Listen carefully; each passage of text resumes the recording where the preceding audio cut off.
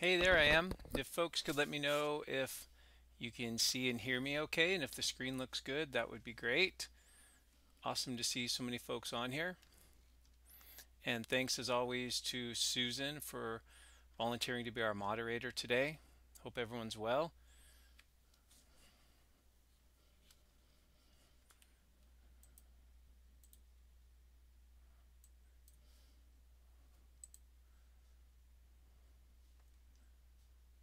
So let's see.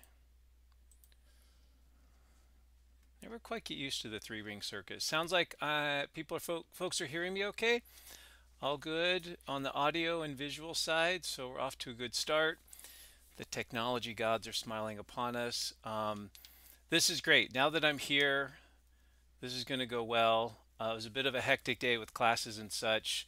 Um, probably didn't get as organized as I'd like to be in preparing for this, but I've got some stuff to share with you. So I uh, appreciate your patience and your understanding. We'll just do what we can and we'll learn together. Um, and it'll be great. So thanks again, team. Um, let's see. Maybe I could do a couple shout outs here.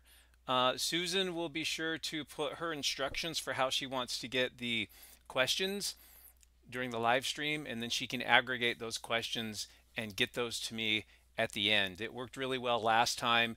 I know a lot of you watch Nick Zentner and even my early live streams, we did all caps uh, just to catch my attention. But Susan has a different method of doing that. So if we can just follow her instructions, that would work great for everyone. So we'll we'll do a couple shout outs here and then we'll get started in about eight or so minutes.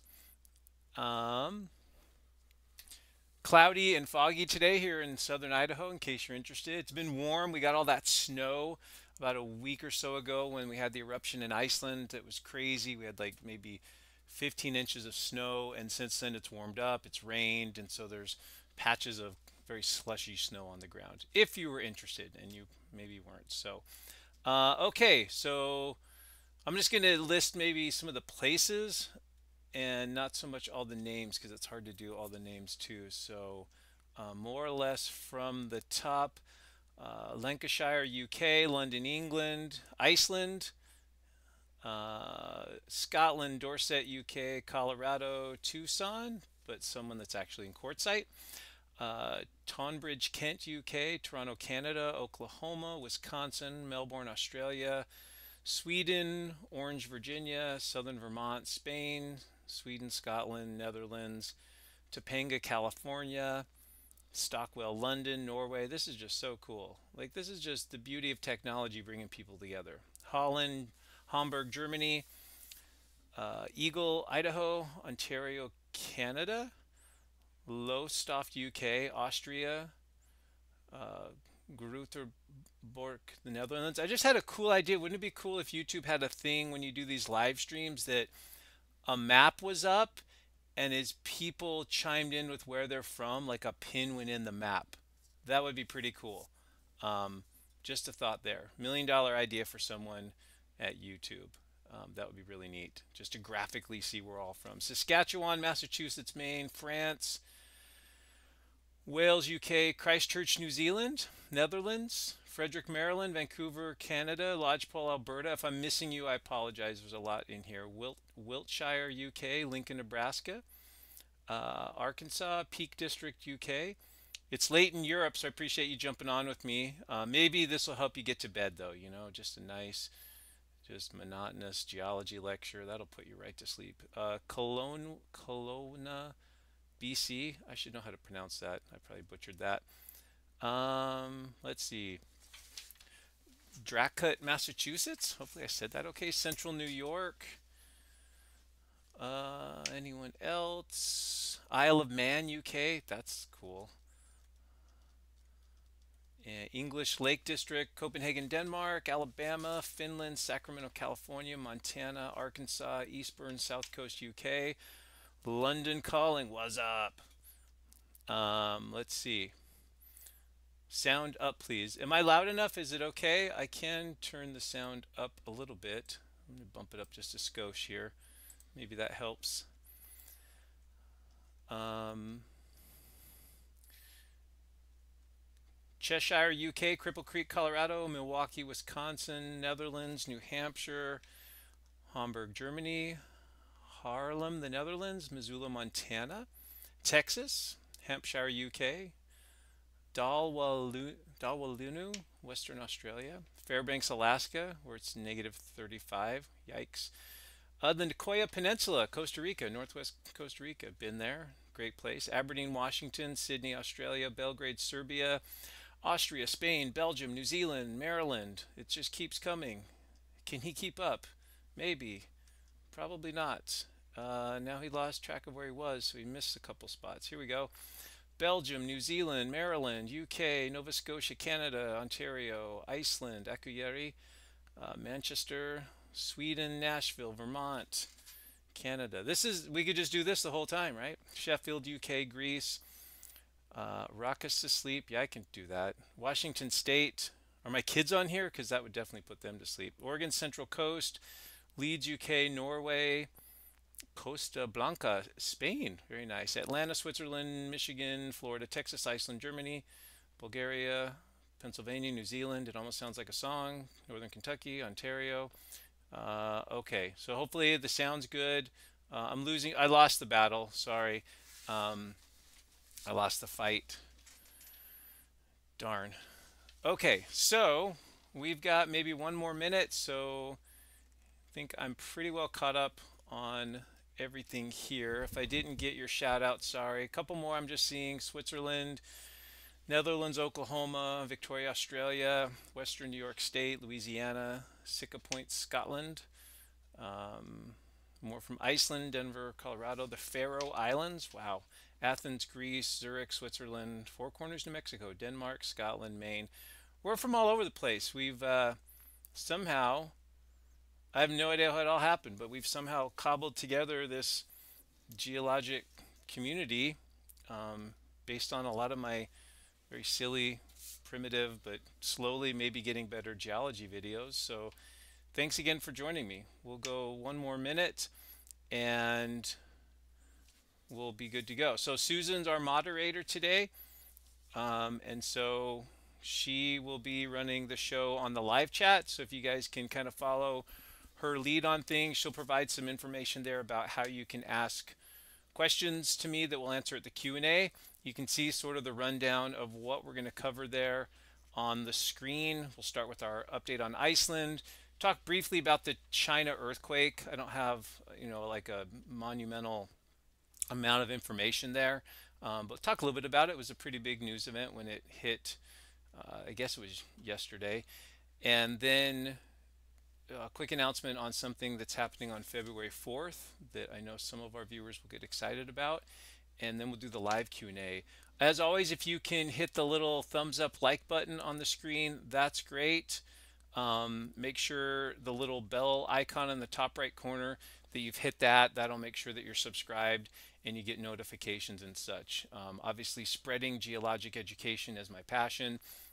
It's what I do professionally. It's obviously now what I'm doing kind of on the side through YouTube. Um, and it's just great to reach out to so many folks. So we'll go ahead and get started. It's about three o'clock on my watch. So thank you all for joining me for this live stream episode. My name is Shawn Willsey. I'm a geology professor here in Southern Idaho. And we have a variety of topics we're going to look at today. Thanks for learning and watching with me. Appreciate it. Um, just a little bit of background here. I'm learning right there with you. Uh, sure, I have degrees in geology, but I'm learning and reading papers and trying to better myself through learning more about specific processes or locations or different geologic events. So it's fun for me to um, disseminate what I'm learning with you. And then, of course, I hear back from many of you viewers in various ways, and I learn from you as well. So it's great that we have this outlet and this community here. So. Excellent. Awesome. Okay. Um, let's see. I'm going to kind of move away from the live chat, which can be all too consuming, and turn to my slides here. So we're going to start with our update from Iceland. And in a nutshell, I'd say that what's happening in Iceland is we have entered the um, basically a place with Iceland where we're kind of expecting anything to happen any day now, right? I think that from now through the next two or three weeks, I'd say we're in the range of like something big could could go down uh, at any point. We've we're a few weeks, or maybe not even a few weeks yet, but we're 10 days or so since the last eruptive event. Um, there isn't like huge monumental data to look at, but there's some interesting trends here. I've got a little diagram I put together that might help some of you that might have struggled with the, the Graben thing, and we looked at some maps uh, in the last update or maybe the previous one. So I, have got some other things to present there as well. But let's start with the earthquake data. Uh, over the last 24 hours, very small earthquakes in terms of magnitude. Um, nothing above a 2, I don't believe, in this region. Nope, they're all below magnitude 1. Um, and in watching the earthquakes over the last couple days, it might be me. I didn't spend a whole lot of time looking at it, but my my impression was there was a very slight shift in earthquake locations a little bit further west. And I, I don't want to hang my hat on that per se, but I, it it could just be the way I kind of recall things. But you know, you've got the the major road there, and of course we've seen a lot of earthquake activity along this northeast southwest trend, where this magma intrusion uh, was or is, and also where now we have these uh, these faults. We actually have faults in these grabens, these depressed, downdropped regions that run right into town. And so we had been seeing a lot of earthquakes there. Of course, we saw some further to the north during the December eruptive event. And again, it might be me, but I just feel like I've seen a few more dots west of the road there.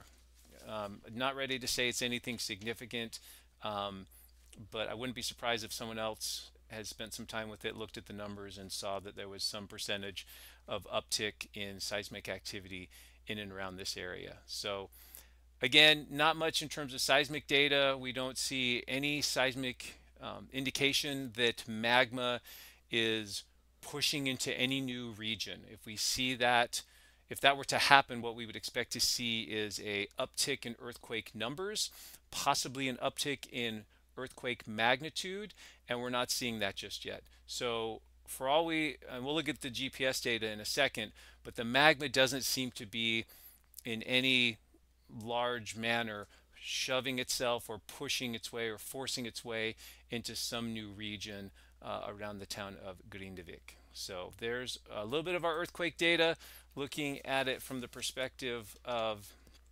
the uh, locations here with the Met Office one. Their, their maps, you know, it covers a big area, so it's hard to see all these dots here. But the one I like to look at, sometimes it's helpful to look at this lower plot here, which shows the last 48 hours and just the actual number of earthquakes over that time period. And you can see there's, you know, sometimes some uptick, sometimes you can see little clustering events. You can see sometimes lulls in earthquake activity which are sometimes real and sometimes are related to weather and the seismic instruments ability uh, to distinguish between you know heavy winds and storms and actual earthquake activity but um, nothing alarming there just kind of you know the earthquakes kind of humming along at fairly low levels we got maybe I don't know 8 to 10 or so above magnitude 1 but again nothing too alarming when we look at the at the earthquake data uh, if we look at the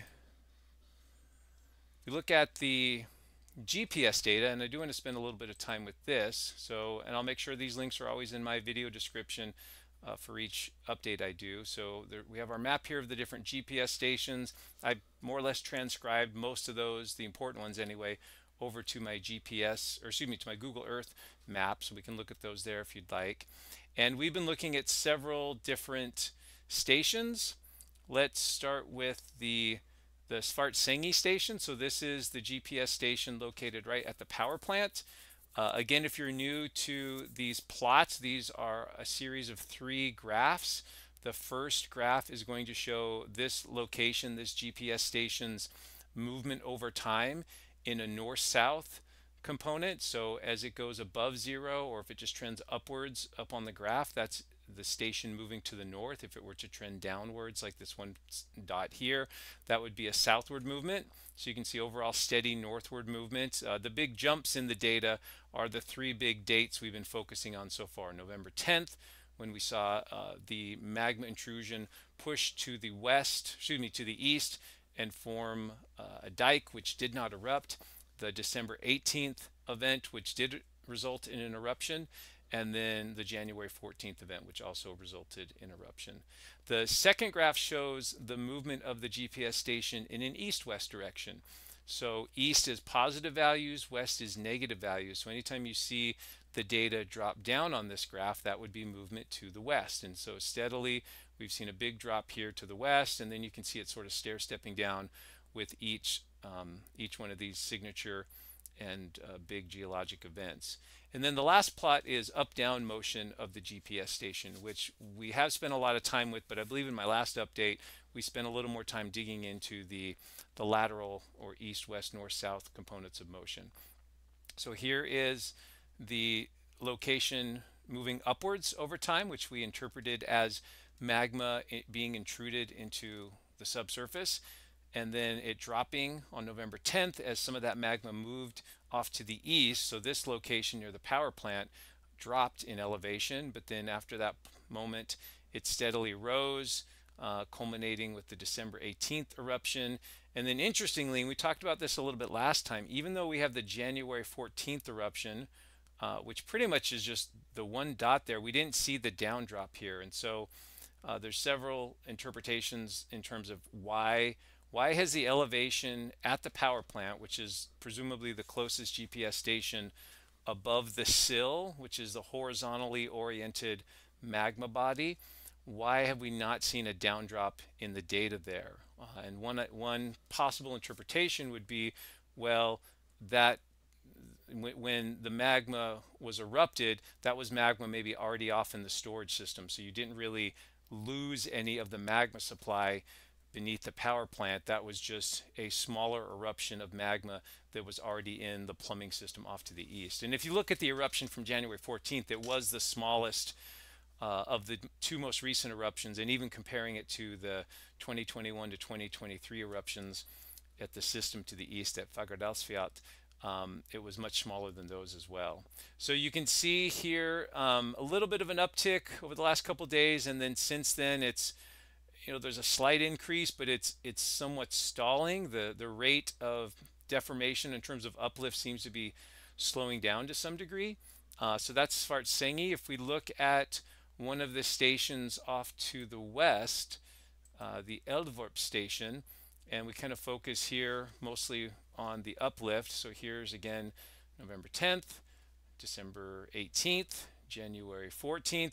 This one has a little bit more um, I think it's a little better behaved, at least so far. You can see that for the most part, especially the last two events that were eruptions, it reached more or less the same elevation um, and then it erupted. So it, it, it, crept up to a little bit over 60 millimeters or so of uplift.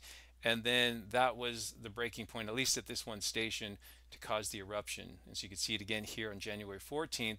And notice where we're at now at this specific station is we're, we're still a couple centimeters shy of that threshold, um, but it's still moving upwards in that location. So, um, so there's those two stations. I don't, we'll spend maybe a little bit of time coming back to, we'll come back to this, I think, in a little bit, perhaps. But I wanted to show you, we went over this to some degree a few weeks ago, and this is from the Met office.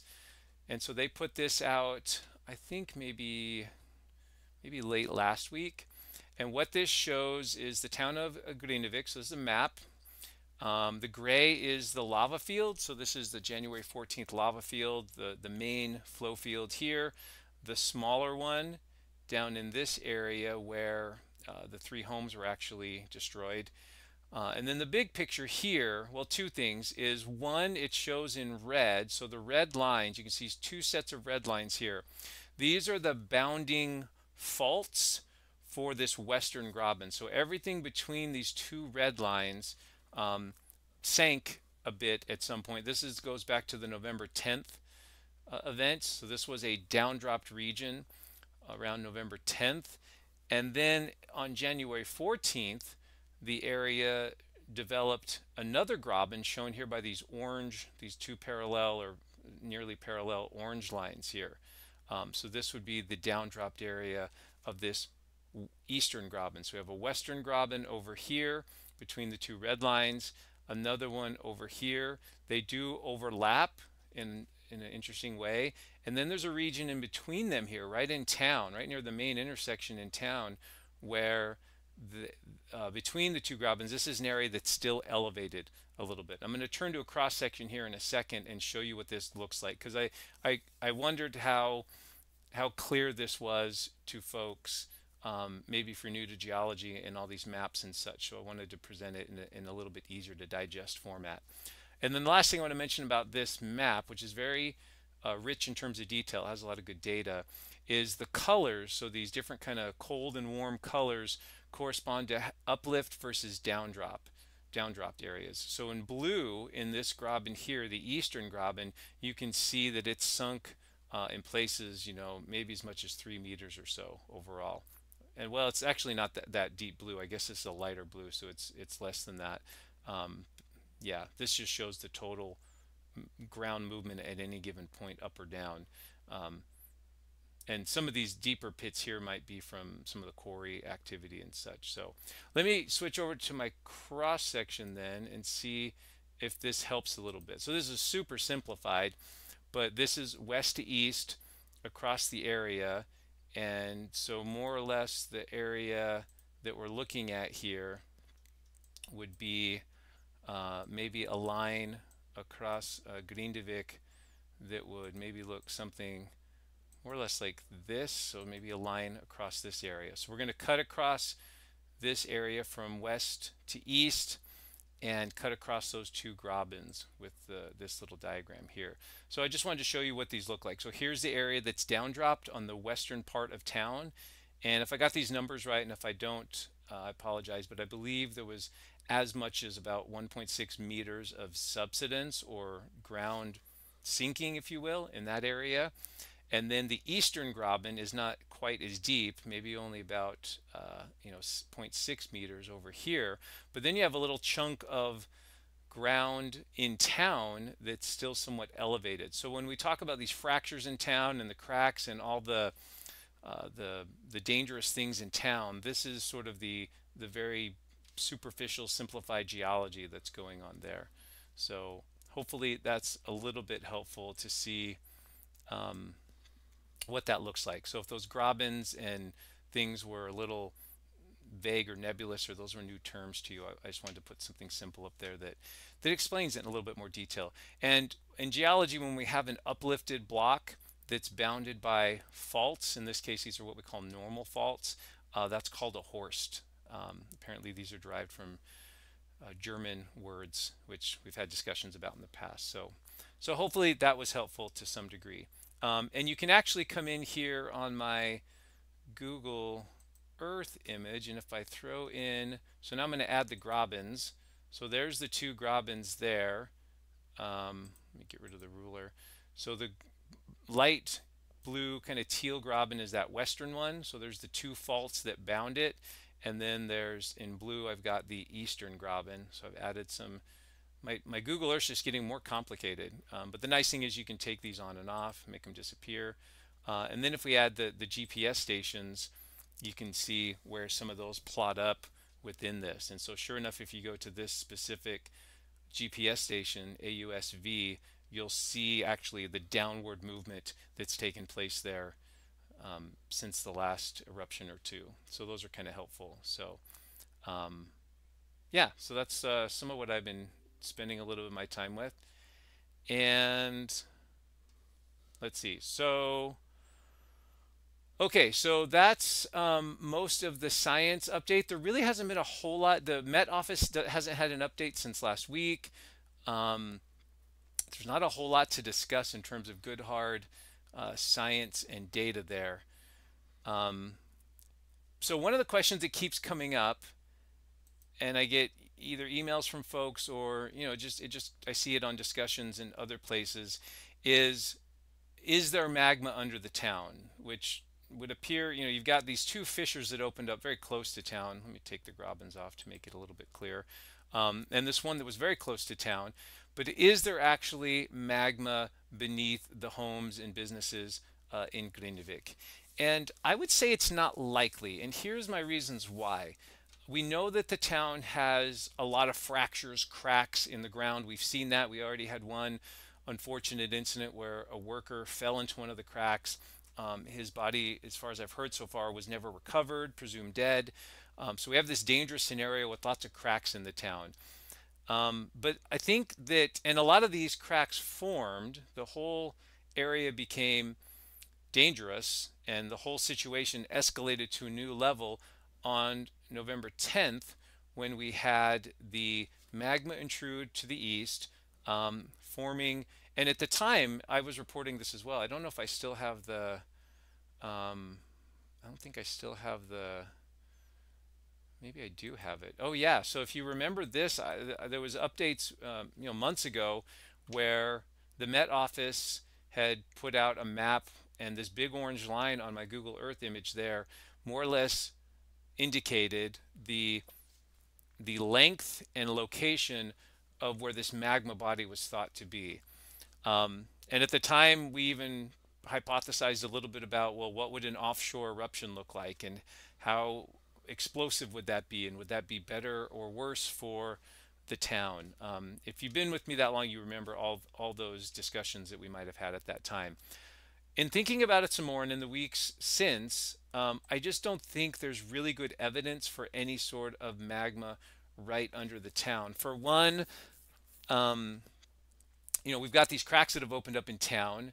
There has not been any heat coming out of them other than just the regular, you know, the, the ground is warmer than the cold winter air in Iceland. So there's no appreciable amounts of heat coming out of them. And if these cracks were linked to these dikes and vents over here, you'd expect to see some, some heat coming out of them. You'd expect also to get gas coming out of them, volcanic gases. So as the magma body stays underground and it loses gases into the rocks and those gases then will rise, they'll follow the fracture systems wherever they are. Um, and so the magma would be degassing the whole time. And to my knowledge, again, there's no evidence that we have volcanic gases degassing anywhere in Grindavik. And then another thing is that we have a lot of these fractures, at least a couple of them that were close to the coast along the shoreline here. Some of these fractures actually were connected to the ocean. They actually saw, they were filled with seawater. They, they rose and fell a bit with the tides. And if there was magma in some of those fractures that were interacting with seawater, we would have seen a lot of steam coming out of some of these cracks. We would have seen you know, possibly explosive behavior, but for sure we would have seen steam coming out of those cracks. And so I think what maybe has happened is the magma was for sure injected over into this region. We have an eruption here in, on December 18th. We had another eruption here on January 14th.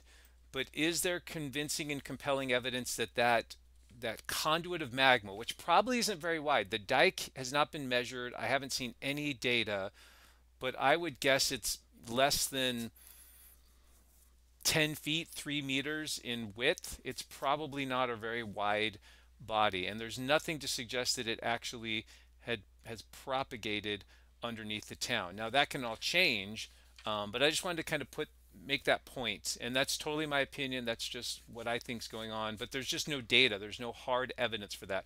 So the cracks and the fractures we see are more or less related to the tectonic activity. And so again, these, these grabens, right, these fractures or faults that run through the town, those are actually um, driven by the extension. This is a sitting on the plate boundary. The plates are moving apart in a east-west or maybe slightly northwest-southeast direction.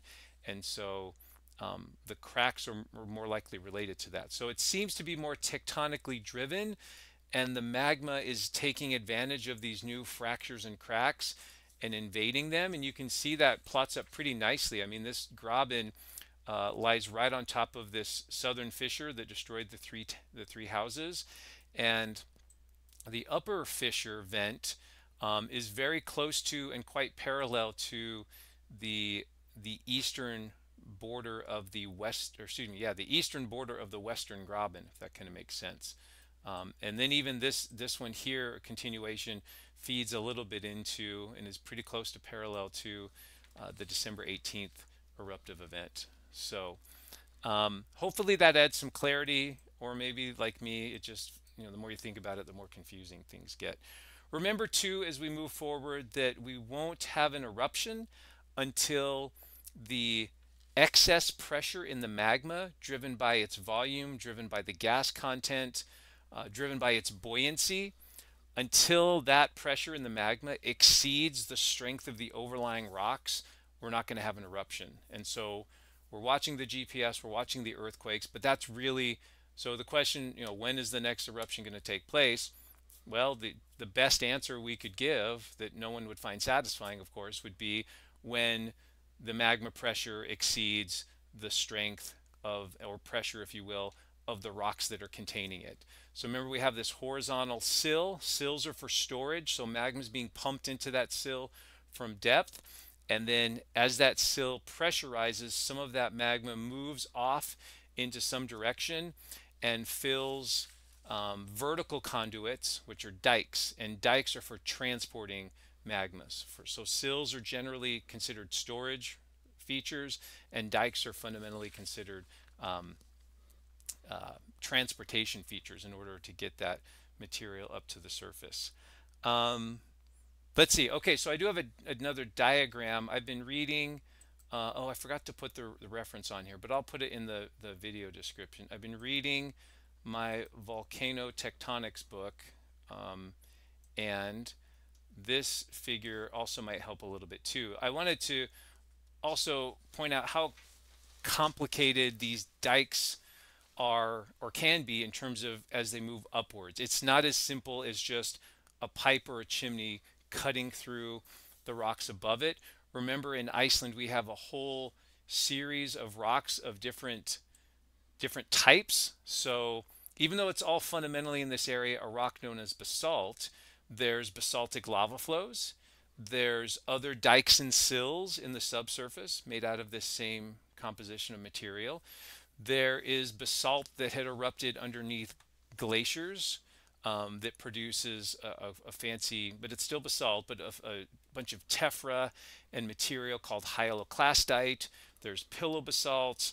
There might be layers of ash. There could be soil horizons between lava flows. Um, there could be intrusions of magma. So rather than extrusions or lava flows, there can be intrusions. So my point is that in the in the five kilometers from the magma body to the surface, there could be hundreds of discrete different layers, each of which has a different density, each of which has a different degree of fracturing, each of which has different degrees of porosity or pore spaces from gas bubbles and other features. There are just so many variables there. So as the dike moves upwards, um, there's just so many different things that can happen. The dike may just totally stop if it encounters a very stiff, uh, strong layer above it. So that would be what we call like an arrested dike or a terminated dike. Um, the dike may come up and be deflected along the contact between two layers, um, but it might just move in one direction. So that would, in this case, they're calling that a, a single deflection. Or it might come up and move laterally in both directions, double deflection, or assuming that it has the pressure or strength to move into the next layer, or maybe the next layer above is, is relatively weak, then you can see that it actually does penetrate uh, and push through that, that layer right there. So all sorts of different variables there. Um, just like anything, I think in my mind, you know, many years ago when I was taught this stuff, it was like, oh yeah, it's just like, you know, it's just a crack and then the lava just, magma just pushes up through the crack easy peasy, no problem. And then, of course, as you learn more and you get deeper in the weeds, everything gets more complicated. You realize how many variables are at play, all the nuances that might uh, dictate this. So every little diagram I've tried to draw is an incredibly simplified version of this. We'll, we'll likely never know the intricate magma pathway that's taken place here. But what we can do in places is go to old exposures that have been eroded away, cliff faces, and see what the dikes and sills and the pathways look like. And that's where all this data comes from. This does not come from directly observing magma as it's penetrating and intruding rock. This comes from studying older, completely solidified, um, you know, past eruptive events and looking at the geometries and some of the structures there. So, um, okay, so hopefully that helps a little bit. Just another little diagram there. Again, I'll make sure I put the reference for this. This is not my diagram. This is uh, the volcano tectonics book. I guess I could show it to you real quick um, in the camera there. Can you guys see that okay? So August Gudmundsson, Volcano Tectonics, right there. Uh, Cambridge University Press. So if you want another book for your for your uh, library, then you've got one right there. Okay, so let's switch to. Um, I don't have a lot of news items either from Iceland. Uh, our good friend in Iceland and uh, Grindavik resident Amanda Joe uh, took a couple days break, uh, and I was fine with that. She just needed a little downtime from dealing with eruption news and insurance payouts and what's going to happen to Grindavik. She she just needed a little space away from that, and I wanted to respect that. Uh, she's taking a break, and really, to be honest, I went and went through the news uh, sites that I knew and looked for any important news over the last few days. Really didn't find any. Uh, I think you know we're in we're into I guess phase four I suppose of this this area and this geologic unrest. So maybe we're getting a little bit used to it, or you know maybe we're we're aware that it's this you know we're just in this part of the cycle that's that's going on where we're just like everything's ramping up and we're just sort of anticipating the next eruption uh, whenever that may be. So it wasn't a whole lot of news to report to you other than the Blue Lagoon is open again. Um, of course, that's a controversial decision, but the hotel, I believe also the restaurant, if not, it's opening soon. Uh, but they're pretty much business as usual. And that may be their, their model moving forward. They may just be vacillating between, um, you know, opening opening up during these lulls in eruptive activity and, and geologic, um, you know, some sense of geologic stability and then when things really ramp up and it looks really dire, shutting down, maybe the eruption occurs, uh, and then reopening when when the lava has stopped flowing and things look safe again. That may be their new um, sort of business model moving forward. But I did, Amanda and I, Amanda Joe and I did message back a little bit, and I did. She did say this, and I think she would be fine with me sharing this with you um, her feeling about the whole situation in the town. And I think she echoes the sentiments that a lot of residents would have is I feel like a lot of residents would just want to they're just tired of being in limbo. They just want some sort of closure to this episode that's now about to stretch into its fourth month. Um, and if that means lava wiping out everything, well, at least that that story has an ending, right? Rather than the the situation they're in where, well, you still have a house, you still have property, so you can't quite, you know, maybe get reimbursed for that, and it, it's just this this waiting and this back and forth, and so I think they just want closure. And again, it reminded me of um, another situation, and so I want to take you quickly to uh, a different part of the world. Um, and maybe rehash a little quick story here that some of you might be aware of um, and some of you maybe not so much. Um, but an area here in the Pacific on the big island of Hawaii, which as you well know is a another active volcano. Um, and there was at one point in this area, we'll get in a little closer here, and I'm not going to rehash like all the the geology and the ins and outs. That would just take too much time. That would be a, a an hour or so lecture. Um, but once upon a time, not that long ago, let's get a nice picture here. Here we go. So here is the eastern tip of the big island of Hawaii. And this little, this is the Kapoho tide pools right here, this little kind of cove. Great place to just hang out by the water, snorkeling, and you can see all the houses and this little community that was built around here um, you know, a couple hundred homes here. I don't have the exact numbers in front of me. Um, but this area This was this this image here is from February 2018, but a few months after the satellites took the, this photo, uh, everything changed. So by April, there were eruptions, um, not just here, but further up in this little subdivision in this area called Leilani Estates. Uh, unfortunately, everyone in this area lived on top of what's known as the East Rift Zone of Kilauea, which had not been active for decades, but became active uh, in 2018. And so by by summertime of 2018, um, the eruptions had begun, and by the time those eruptions ended, the area looked pretty much like this. And maybe I can find a little better uh, imagery here. Oh, maybe that's the best one there. Um, but you can see the the little community and the little tide pool area there just totally gone. There it is before, uh, and there it is, of course, after. Just completely blank slate. There is no, for the most part, no remnant of any of the homes to some degree, just completely wiped out. Back up here in Leilani Estates, some of the homes survived, just happened to be good luck in terms of where the vents opened up in the neighborhood.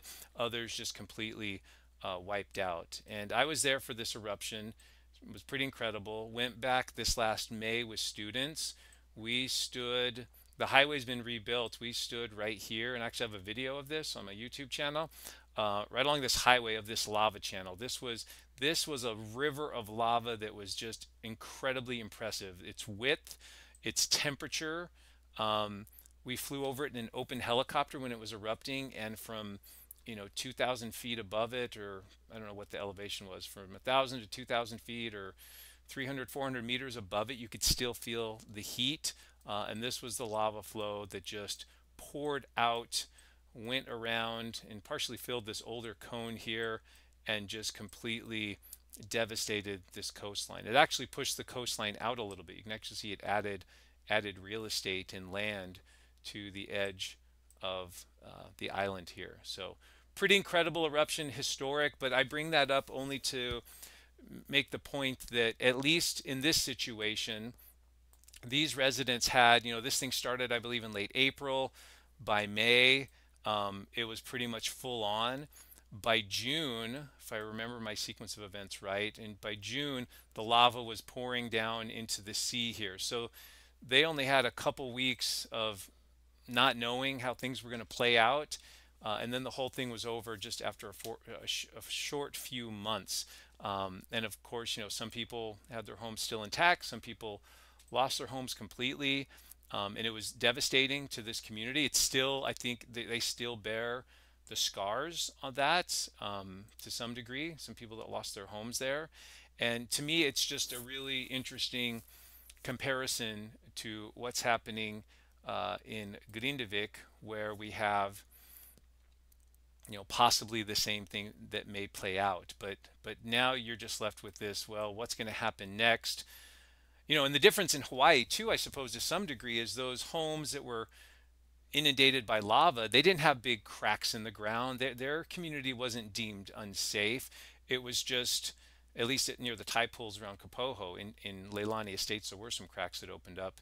Um, but for the most part, it was just lava's coming and it keeps coming and then it takes out the community. Whereas here we have, you know, just so many different things um, that are big issues here, right? We, we've we've severed uh, this the pipeline was severed, the electricity was severed uh, by the flow field on January 14th. Um, just a really difficult situation. I, I, and people have asked me, well, what would you do? What would be your opinion? I don't know. I would want to sit down with. I don't have a clear answer. I think you need to listen to these people. I think um, you know the government if the government can can make the situation right, if we can find a situation where people can relocate and but maybe we leave some of this open, like maybe we shouldn't have people live here, but possibly the port and the harbor and some of the infrastructure and businesses can continue to operate just like the Blue Lagoon is operating. Maybe that's the best situation moving forward. But it's such a tricky situation. So um, I hope I addressed that well. I hope I gave that some some clarity and some sensitivity, but I, I see some some parallels to the situation that happened in 2018 in Hawaii. I also see that there's a couple of differences there as well. So, Um, okay, so that's I think all I have for Iceland. Let me turn our attention to the earthquake. Um, well, that's not a good way to start. Okay, here we go. So here is the USGS, and this shows the last week, all earthquakes. Um, now this is skewed a little bit. I don't know how many of you look at these this website, but this is the USGS earthquake um, plotting site. And notice there's a lot of earthquakes in the US, but that's because we have access, we have our own seismic network. So this is going to plot up very small earthquakes, like there's a 1.4 in southern Utah, and here's a 1.7 in Colorado. So this, because we have our own seismic network, this can detect very small earthquakes and plot them on the map. When it comes to global quakes, they need to be of a specific of a size that we can actually detect them. Um, so because we don't share, it'd be wonderful someday if we have a global seismic network and all countries share their seismic data freely. All that, all those seismometers are integrated. That would be really cool. But for now, uh, we don't have that. Notice it shows, you know, no earthquakes in uh, Iceland. And of course, we just saw that there's there are some there. It's just not detecting these very small ones. So, but anything above a four or so usually um, can be detected from from remote distances and then plotted up uh, and shown on these. So there's a 4.8. But the one we're looking at, the one that happened, um, I guess late Monday night, technically Tuesday at like 2 a.m. local time, is this earth, earthquake here in western China, right near the border with Kyrgyzstan. And so this was a 7.0 earthquake. And so you can see a lot, these were mostly aftershocks, but if we get in there, we can find the biggest circle. That's the 7.0. Um, and so that's the location of the earthquake. And just wanted to share with you some of the more or less the, the data, the science of what happened. You probably picked on some picked up on some of this on whatever news feed you get. But it was a 7.0. The depth of the earthquake was about 13 kilometers, so that's maybe what eight eight miles or so down. Um, 7.0, which is pretty good size, but it's normal, right? Like we probably get 15 magnitude 7 earthquakes on planet Earth in a given year. Some years are a little bit more than that, some years a little bit less than that. Um, thankfully, it was not a a hugely fatal earthquake. There was only, at, at last report I've seen, there's only three deaths reported. About 100 or so buildings that were collapsed, a lot of injuries, but the fatality number was quite low. Um, when you click on the earthquake in the USGS, that brings you to this other page I was on and you can get lots of good information here. And one of the things you can see here, and I know some of you will, love this, is the good old beach ball. So these remember the, the focal mechanism solutions, or sometimes they're called fault plane solutions. But these are instructive because these show us what kind of fault generated the earthquake. So with the with the blue region, which is compression in basically the center of the circle, that tells us that this fundamentally was a reverse fault. So it was caused by compression. It was caused by one side being pushed up and over the other side. And the fact that we see the sort of X pattern there, um, it's not in the center, but it's not all the way on the edge of the circle. That tells us that it also had a component of sideways motion or what we call strike slip motion. So this would be a reverse or an oblique reverse fault or a reverse oblique fault. So it, it moved it moved by compression up and down, but it also had a side to side component of motion as well. Um, there's been, I think I saw a little over a thousand or more aftershocks, but that's to be expected whenever we get an earthquake of this size. Uh, the aftershocks should come, and there's likely way more than this. Remember, this is the USGS data reporting. So we're only seeing the big ones 5.6, 5.2, 4.9. Uh, undoubtedly, there's lots of smaller aftershocks that would go on this map. Um, but because of the distance and we don't have seismic instruments in this area, uh, we don't know you know how many of those are but undoubtedly the Chinese and maybe other nations are monitoring how many of those um, how many of those earthquakes and aftershocks have taken place so so the good news is it happened in a pretty um, largely uninhabited region. Uh, these there's big mountains here. In fact, let me take you to it on Google Earth because that's always fun. Um, and maybe let's see it. Let's put on. Oh, it's going to zoom us way in. So the let's see, where's it at? There we go. So there's the location of the. I don't want the roads. There we go. Location of the earthquake. And so zooming back out a little bit, you can see. Let's zoom way out here. So here's India. Um, here's China, Kyrgyzstan. And really what's caused this earthquake, this is a region known for earthquakes. If you look at just the rocks on the satellite view, you can see the, a lot of these mountains trend east-westish across this region. If you come into this area in front of the mountains here, you'll even see that there's um, just layered rocks, most likely sedimentary rocks that trend east to west as well. Um, so these rocks have been folded there's probably lots of uh, faults in here, reverse faults or thrust faults. And all of this region, uh, the geology here is dominated by the compression or the convergence as India continues to slam into Asia. So as along this convergent plate boundary, which gives us the Himalayas, as India continues to collide with Asia, not only does that push up the Himalayas and generate earthquakes in this region, um, and the whole Tibetan plateau is elevated. But even distant from this quake, back here where this earthquake just occurred, um, you can see these mountains, and this is all related to that event. So this is all um, a common tectonic origin, even though we're quite distant from the actual um, plate boundary itself. So hopefully I made I made that clear. So this earthquake uh, is what's responsible for this earthquake was is the collision between India and Asia. And I did see somewhere that they've they've had earthquakes of this magnitude in the past. I think the last one was in maybe the like 40, 50 years ago, um, but they're to be expected. So. Um, anything else on that? Oh, one other thing on this earthquake was, and this is a nice little graphic here. I didn't spend enough time on it, um, but this shows some of the faults in red. The bullseye pattern here is the intensity level of the earthquake. So we measure earthquakes, remember, two different ways. One is magnitude. That is measured from the seismic waves. How much, you know, if you've ever looked at a seismograph that looks like a, a cardiogram with the little lines going up and down, the bigger the deflection, the bigger the earthquake in terms of the energy it releases. So this is a quantifiable number, 7.0 magnitude um, that we can glean from seismic data.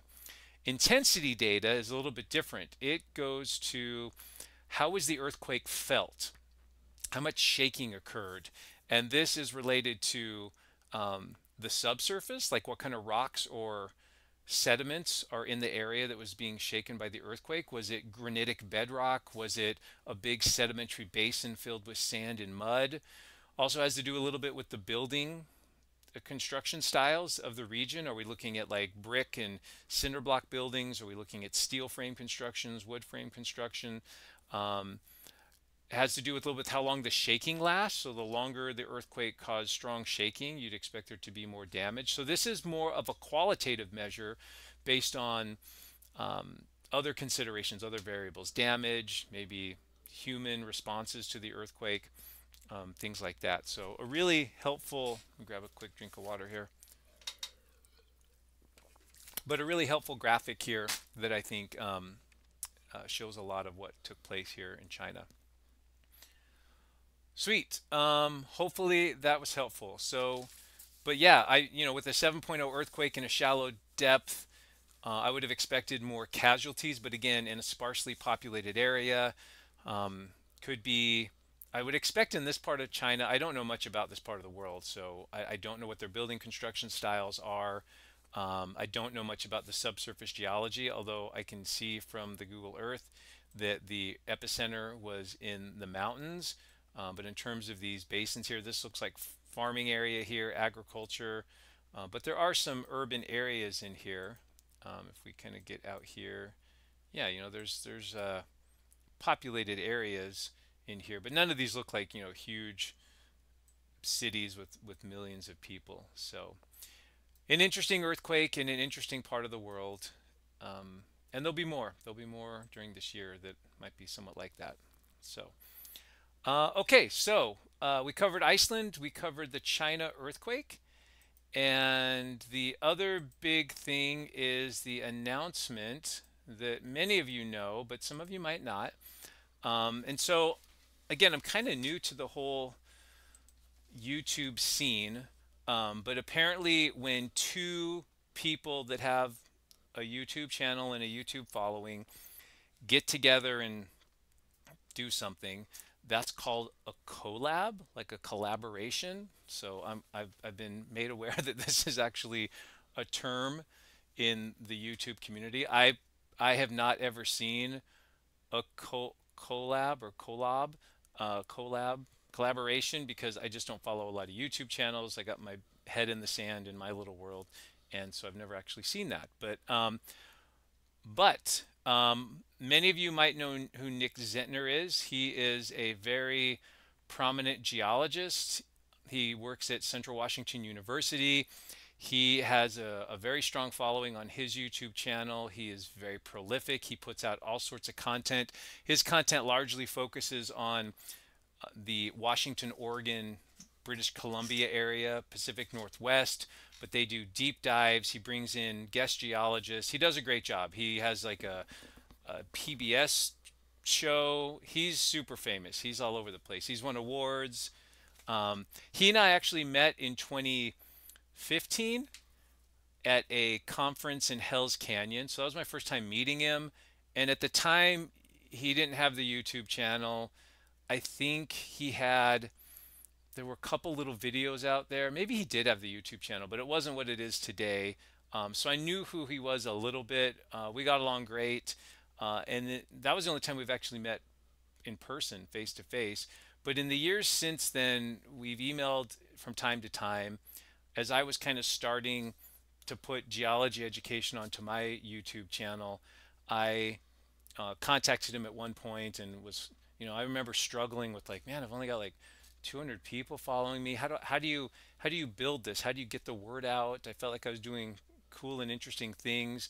Um, so I turned to him to see if he would give me like a shout out, which he did, and that was very much appreciated. Anyway, long story short, um, on Sunday the 4th, so that's a week from this coming Sunday, at 10 a.m. Mountain Standard Time, which I believe is 5 p.m.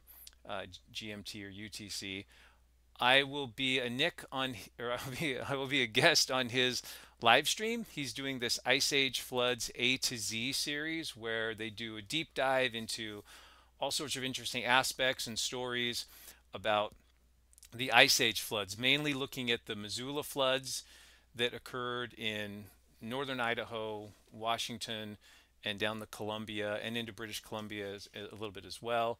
Uh, so he's doing all sorts of great work with that. Um, but I will actually be on to talk about the Bonneville flood, which was another ice age flood in a different location. And I often talk about the Bonneville flood as being the quote unquote the other flood or the forgotten flood because the Missoula flood gets so much attention and it should. It was a fantastic event. There's some great history of evidence there.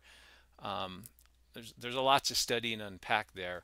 But I feel like the Bonneville flood is sort of the one, you know, like the ugly stepsister that got you know, kind of beaten down and bullied or something. It just doesn't get as much attention as, as I'd like it to receive. So um, that's all I know. That's what we're supposed to talk about. He hasn't, I'm sure between now and then he'll get get with me and we'll have more of a outline fleshed out. But just want to make you aware of that. So if you want to catch me at that time, that will be on his YouTube channel.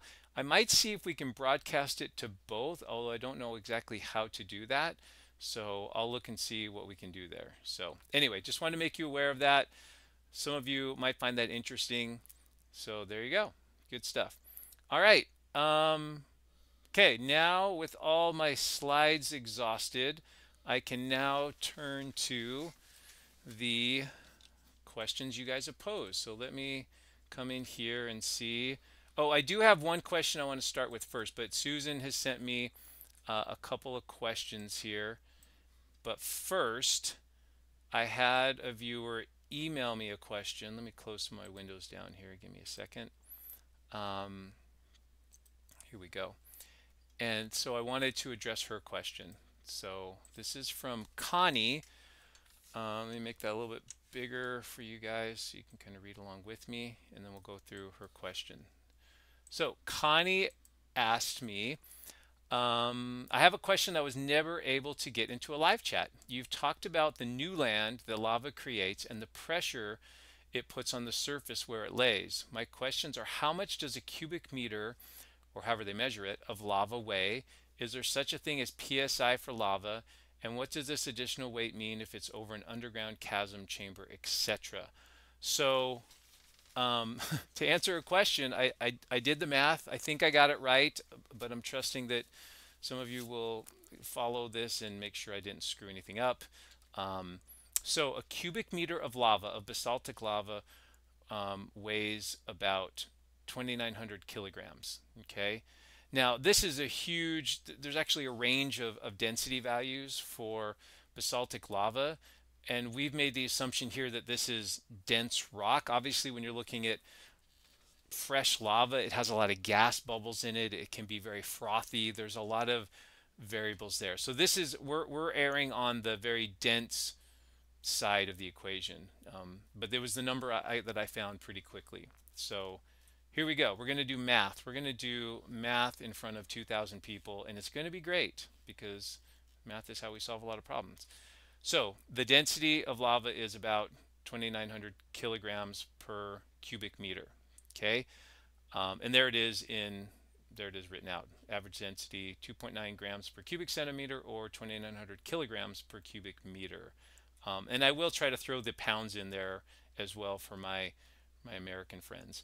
Now, so that's the density. That's one thing we need. The other thing we need to know is the volume of lava. And, and since she asked, I assume she might be interested in the lava field from January 14th. So there was a map that was put out that showed the thickness of that lava field, and it varied. There were places where the lava stacked up thick, other places where it was much thinner. I just, for simplicity's sake, picked an average thickness of about five meters. Okay, that's maybe a little bit on the thicker side, but let's just go with it for now. We're just looking for a ballpark number. That's what she was asking. Uh, the area of the lava field, map view, looking down on it, that's been calculated and published, and that was about 0.68 uh, square kilometers. So we want our units to all be the same, so I had to turn uh, square kilometers into square meters. So that equals 680,000 square meters. And so if you take 680,000 square meters, times it by 5 meters, so we're taking the area and timesing it by the thickness, that will give you the volume. So the total volume of lava estimated during that eruption on January 14th was about 3.4 cubic 3.4 million cubic meters of lava. Okay, just ballpark number.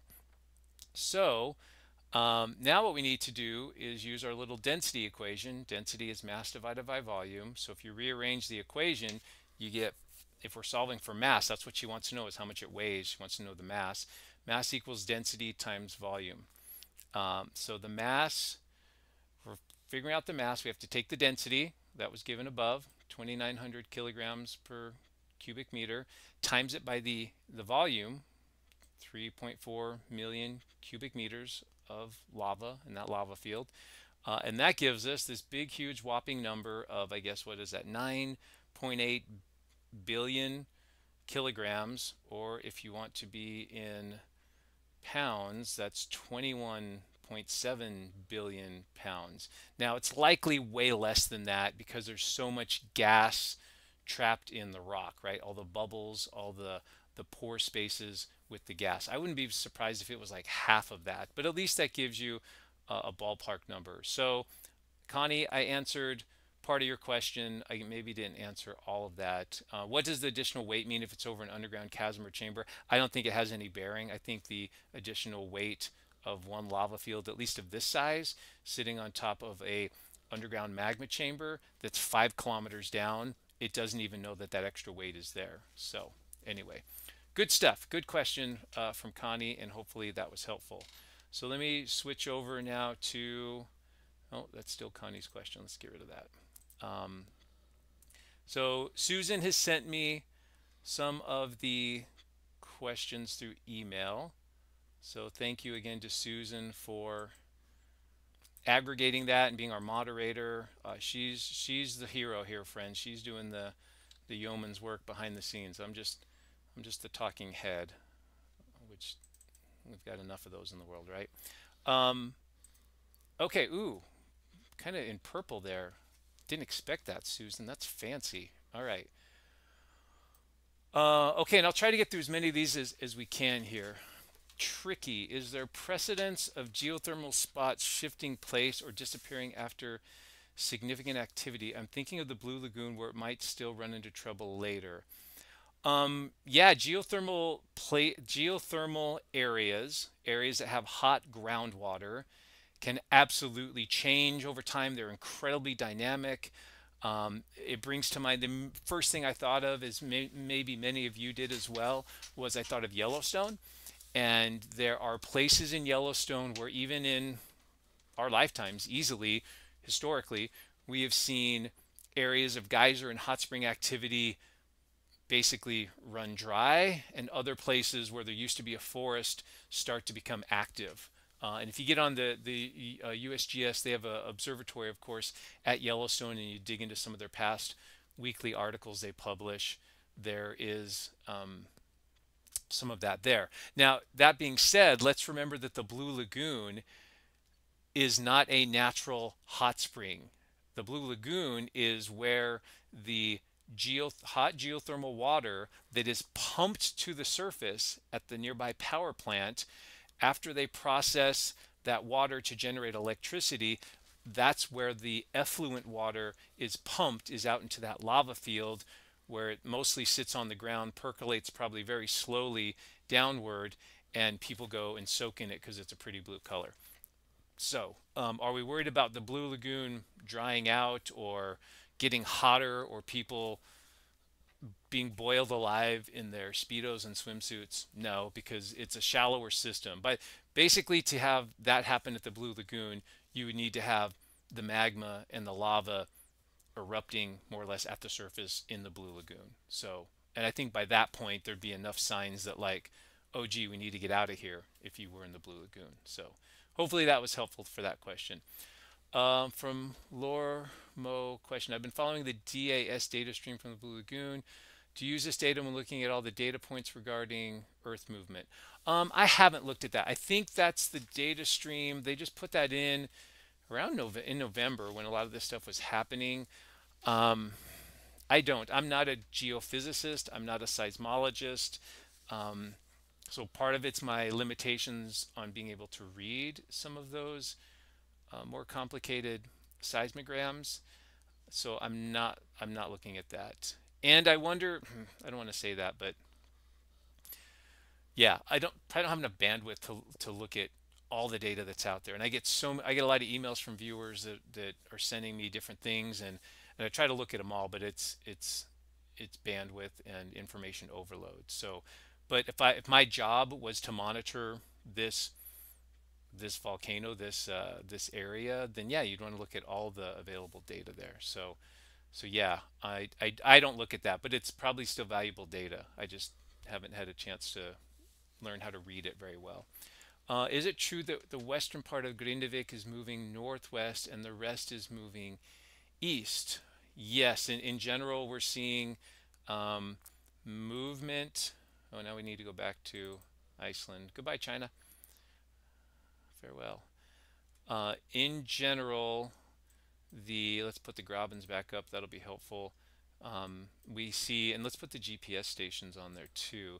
In general, most of these stations you see, let's switch the view a little bit. Sorry. Most of these stations on the in the western side are moving uh, slightly to the northwest. Let me finish the question though. Um, all all rift is moving. Um, well the plates are separating, right? And that's accommodated by the faults. It's more complicated than just one crack and two sides of the crack moving apart. It's usually a series of structures of faults and fractures that are accommodating the bulk motion. The the rifts or the faults don't always have to be aligned. They can be offset. I, I need to finish this question. Um, Deformation station BLAL, the Blue Lagoon one, doesn't show on the map above the charts. It seems very concerning. And I think it's somewhere near at the Blue Lagoon. How can I confirm the location of this? Um, so great question. I think you can get into the so the station this person's asking about is one that I think they just added once all the chaos started. So if you look at this station here, notice there's no data until mid-November or so, or late November. Um, and then we see it rise, December 18th eruption, we see it rise, January 14th eruption. Um, I think they're asking where this station is located. And I think if you dig uh, into this site somewhere, I don't know exactly where, but if you go into the Institute of Earth Sciences, I think you can get the locations of the GPS stations in there. So hopefully that's a little bit helpful. Um, Paul P. Is it going towards the power plant? Um, shoot, now I don't know the context of your question. So I'll move on. Sorry about that, Paul. Uh, Professor Thor Thordarson suggests the graben faults at the coast had seawater in them. What will happen if the magma collides with this water for Grindavik? Thanks. Um, yeah, so if the if well, the faults can go into the water, but the only place we're going to run into trouble is if the magma propagates down these graben or rift systems and erupts and comes up into the seawater. And if magma and water, whether it's seawater or freshwater, mix, uh, it's a very typically very explosive reaction.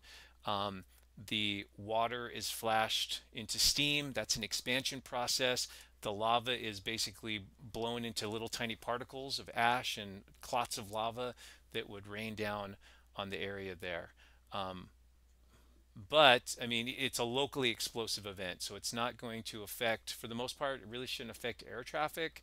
Um, it might not even, it might be a better scenario, and I talked about this in weeks past as well, for Grindavik, because if you built up a cone offshore of tephra, of ash, and you blanket some of the houses with ash, maybe that's a better outcome than lava incinerating and burning those buildings. Um, yeah, good question.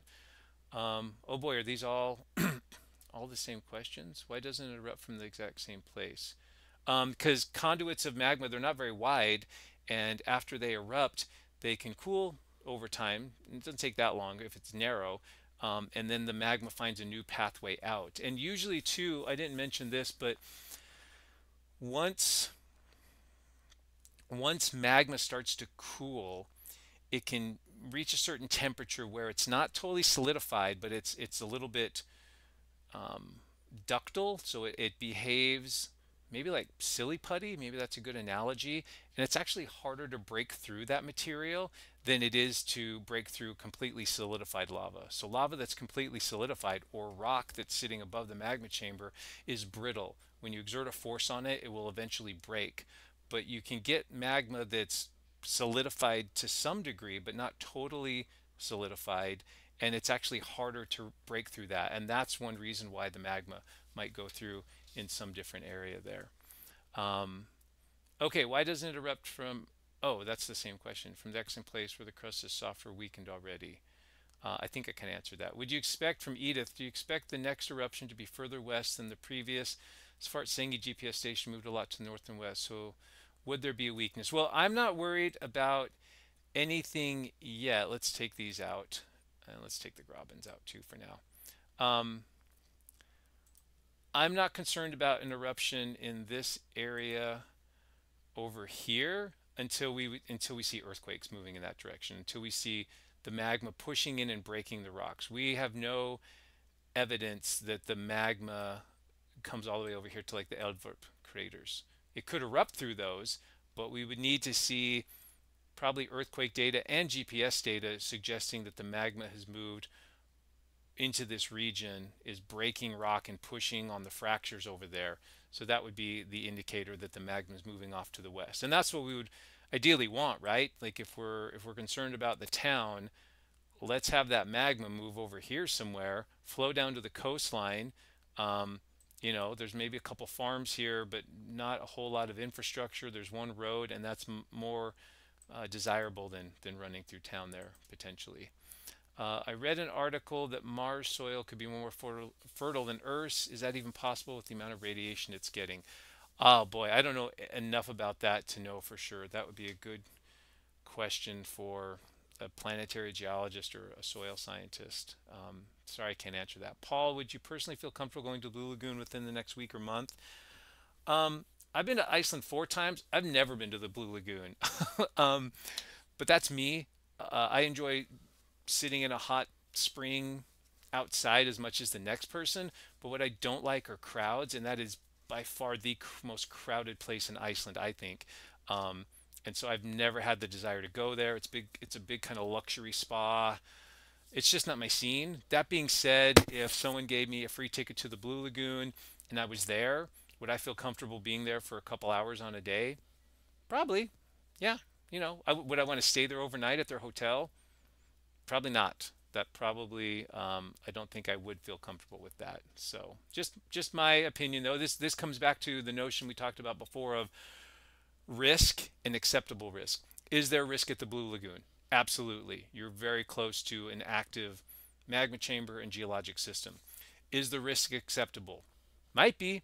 For me, it's acceptable to go there for a couple hours, half a day. I feel I probably feel pretty comfortable with that. For other people, they'd say no way, no how.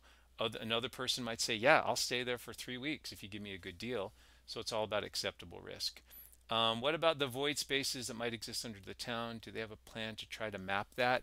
Um, I did think I, I thought I heard something about them using GPR, ground penetrating radar, to map out some of the void spaces. You got the town on top. There's some cracks that are known, but at this point, there's been so much damage um, that there could be larger void spaces under the town, and so there's some concern about that. They need to obviously figure out where those are and collect that data. Uh, and so that would be part of that process. So um, let me check the next batch coming from Susan. And I think this will be it. So Susan, please don't send me a third batch. I think we'll just do two, two batches for today. All right. Um, what am I doing here? I'm trying to make it bigger. Oh, down here. There we go. All right. Elaine Jones. Hi, Elaine. The latest fissure near town appears to be at the intersection of two of those faults. Coincidence? Um, yeah, so I think she's talking about latest fissure in town. Well, there's the two, the Grabens intersect up here by the greenhouse. Let me go back to her question so I make sure I got it. Appears to be at the intersection of two of those faults. Coincidence? Probably not. Um, and this is highly simplified, right? So this is just showing the large faults associated with the two Grabens. There's likely some subparallel faults that uh, are near these as well. Um, I know there's one that runs right through this part of town because this is close to Amanda Joe's house. So it, this is the sports complex and swimming pool here. Um, so I think one of the big ones runs through this area. So that crack now seems to be related to um, the development of this this side or this margin, the eastern side of this graben here. So uh, I hope that addressed that, Elaine. Thanks for your question. Christopher, as the graben continues to subside around Grindavik, is there a near-term risk that the sea harbor will flood the city and go further inland? Or also could the sea flood the cracks and lava tubes? Yeah, I think what we're seeing now, um, and I heard one of the Icelandic geologists comment, I don't know where the data is for this, so I'll just I'll just say what, what I heard him say, and but I but I don't I don't know this myself he, and this was uh, Professor Thordarson, said that these grabens are pre-existing structures, that they were there before the town was there, and that they've just been reactivated by some of the activity here. That may be true. Um, as I drew these lines on my Google Earth, I looked hard at like before the blue lines went on there. I looked to see, um, you know, like is there any anything in the topography that looks like these lines are following and I really didn't see anything. But it does it does look it's curious that this eastern graben coincides nicely with the harbor suggesting that there's this natural embayment this water body uh, the sea comes into the land to this degree because possibly it was a low-lying area so there may be something to that I just don't know where he's getting that direct data. So, um, so I can't really speak to that. Um, yeah, hopefully I answered the question. The graben continues to subside. Yeah, so I think so. I think if if if the graben continues to subside, you could end up with some localized flooding around these coastal areas. Now, luckily, as you just move, you know, a few blocks or streets inland from the harbor, um, the elevation rises. I mean, by the time you're over here, you're up almost 40 feet, 12 meters, whatever, 13 meters uh, above sea level. And it's unlikely that anytime soon you'd have so much subsidence in the graben that you'd actually see the sea level come up that high, but possibly. Um, yeah, good question there. All right, next one from Charles. Oh, that was Charles' question. Oh, let's see. It looks like Christopher and Charles are the same. So Johans, or Joanne, sorry, having a hard time reading this purple diagram. The chief volcanologist said today that the grabens are not new, that they've been there for a long time. Yeah, so I watched his little interview, and that's that's that's what I just mentioned. They've sunk more though with the recent eruptions. Still right. I saw him say that. I'm not refuting his statement at all. I just don't know what evidence or data he's looking at that that leads him to that conclusion. Um, if we knew there was a graben already there, why wasn't it mapped and made known? Or is he saying that the graben, that because of the activity we've had over the last three months, that we're now seeing these structures have been reactivated? I would just want to see what the evidence is that suggests that these were pre-existing structures that have been reactivated. And I don't, I haven't seen that yet. So, but one of the problems of being a geologist in Idaho, like long ways away, uh, would Shawn consider commenting, this is from Hazel, on the new USGS map of active volcanic areas on Earth? Oh boy, well, I probably need to see that map, and I don't know. Oh, I think I know what she's talking about. I did see something about that, but I didn't. So I saw it like in like a like a news type thing, um, but I didn't look at it much detail. But let's look at it now because that's got me excited now. Uh, was it a hazard map? I think it was a hazard map. Um, let's try new volcanic hazard map. Is it in here? Some of you are shouting at me on the live chat. It's right here. Uh, or if someone could throw the link up to it, that would be great. I do have my live chat open, so I could go to that. So if that, but yeah, I did see that. So hopefully this will open and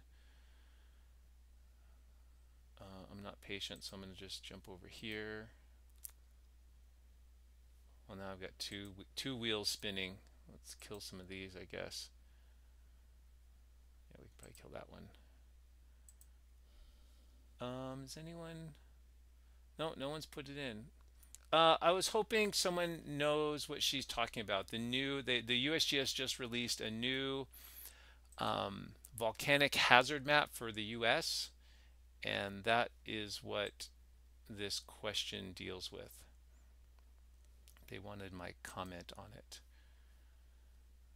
And I know it wasn't an interactive map like this, it was like a published map. View assessments the new USGS volcanic activity map. So I need to put that into the search bar. Uh, maybe. We'll just try one more time. We don't need to belabor this too much, I suppose. Activity map.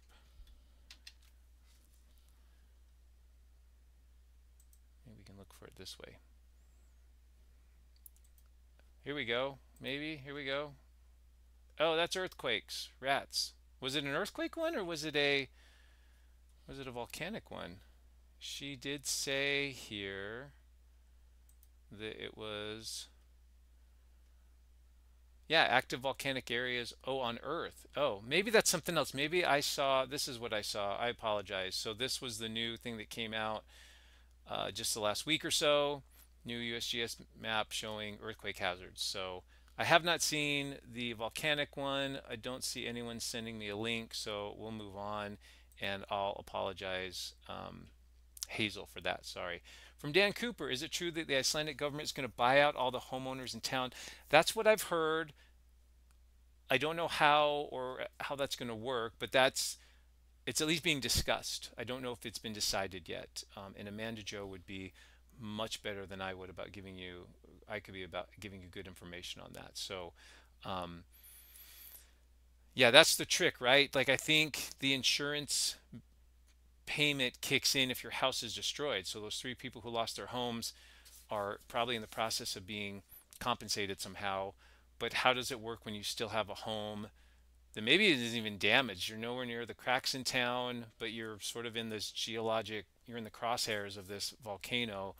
Um, I'm not sure how that works. So, uh, Paul, any truth in the rumor that the Icelandic government, yeah, considers a buyout? Same question, same answer. Uh, Ghost, hello, Shawn. I have a question for you. Can this situation get worse?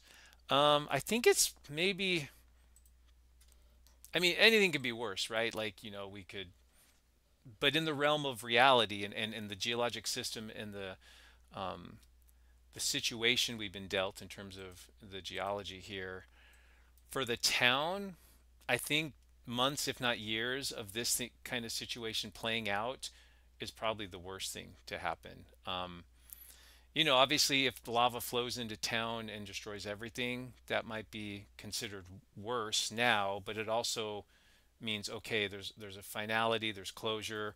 This town doesn't exist anymore, and now we all need to pick up and move on to the next chapter in our lives. So it's a tough question to answer. That's just some thoughts there. Um, can you add a link of your video about that Hawaii event, please? Um, yeah, all I really had there, I did a bunch of videos this last May in Hawaii when I was there with my students, and I did one in particular right over the lava channel that was pretty cool. I could probably pull that up quickly and maybe I'll just paste it in the chat. Does that sound, is that doable? Um, so let's do that real quick. And so here's me. Uh, got to go to the playlist. We're doing a live stream. If we go to Hawaii, and and I've thought about re relaunching some of these. Some of these didn't get a lot of views. Um, might have been the way I kind of promoted them or whatever. Others, I don't know. So some of these I might relaunch at some point in the future. So I'm going to go ahead and paste that into the chat for that person if they want it. So there it is. Um, yeah, or because I now I'm realizing it might kind of disappear in the chat, or if you just go to Hawaii um, and then in the playlist and then look for the, um, I think I called it huge channel or immense channel. I put some cool clickbaity term on it, which I hate doing, but yeah. Okay, so some of these questions I think are going with when I was talking you through the situation in Hawaii and at the Kapoho tide pools. Would lava filling tide pools area create marine fossils. Actually, it was a it was a a kind of tragedy, an ecosystem collapse, I suppose. There was really sad reports, and I don't want to get too graphic or whatever here. Um, a lot of those marine creatures near the Kapoho tide pools died um, as the lava went into the ocean.